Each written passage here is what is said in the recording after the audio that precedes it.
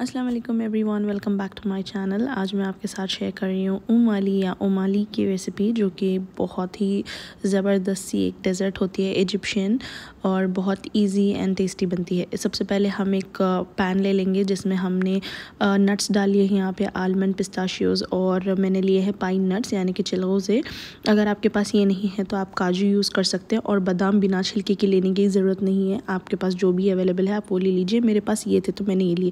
उनको बस हल्के से ड्राई रोस्ट करना है, थोड़ा सा ब्राउन होने तक, उसके बाद आपको उसको हटा लीजिए। एक हमाम दस्ते में मैंने यहाँ पे इलायची के जो दाने होते हैं, वो लेके उसको अच्छे से कूट लिया है। आप उसको पीस लीजिए या कूट लीजिए, आपकी मर्ज़ी है। यहाँ पे देखिए, एक ये बटर पेपर में मैंने ना ये ड्राई फ्रूट्स को इस तरीके से डाल के इसको बस हल्के से मैं पाउंड कर रही हूँ। हमें बस इसको क्रश करना है, पीसना बिल्कुल भी नहीं है। साइड में इसको रख लेंगे और यहाँ पे एक सॉस पैन में मैंने ना विपिंग क्रीम और कुकिंग क्रीम दोनों मिक्स करके ले लिया है। जो भी क्रीम आपके पास अवेलेबल है, आप वो ले लीजिए। साथ में दूध और पानी और चीनी मैंने डाल दिया था इसमें। साथ में मैंने इसमें ऐड कर दिया जो हमने कुटा हुआ इलायची हमारे पास थी वो और ये है नटमेग पाउडर इन सारी चीज़ों को डाल के हम इसको अच्छे से मीडियम फ्लेम पे हम इसको चला लेंगे।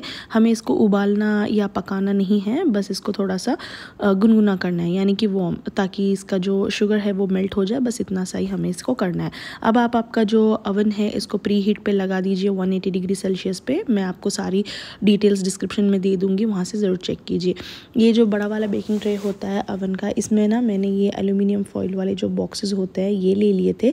ये इसलिए लिए क्योंकि बाद में मुझे स्टोर करने में बहुत ईजी हो जाता है और फिर मैं अपनी जो हेल्पर दीदी है, उनके लिए भी एक डब्बा बना रही थी यहाँ पर तो उनको भी पैक करके देने में ईजी हो रहा था तो इसलिए मैंने इसमें बना लिया।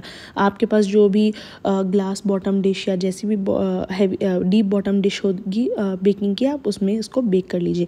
यहाँ पे आप देख सकते हैं, मैंने ये जो पफ पेस्ट्री होती है, वो ले लिया था। आपके पास जो खारी बिस्किट अवेलेबल होते हैं, या खारी बिस्किट बोलते हैं, या टाई बिस्किट बोलते हैं, वो आप ले लीजिए, जो बिना ज़ीरे के होती है।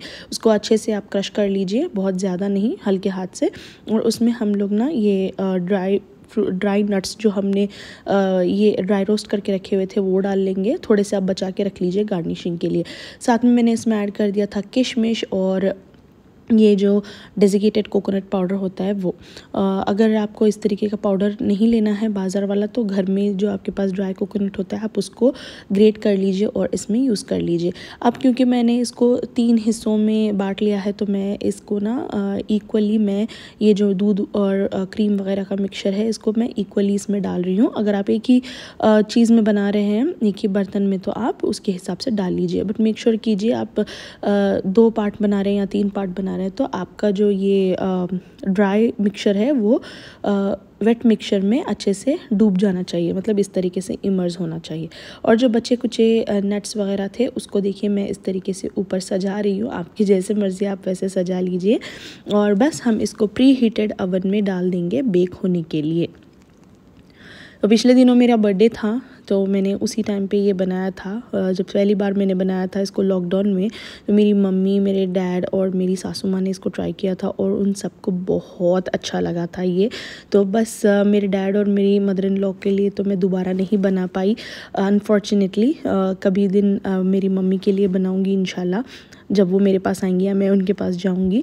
तो बस उन्हीं की याद में मैंने ये बनाया था। 20 से 25 मिनट के लिए हम इसको अवन में बेक होने के लिए छोड़ देंगे। मेक श्योर कीजिए आप इसको चेक करेंगे।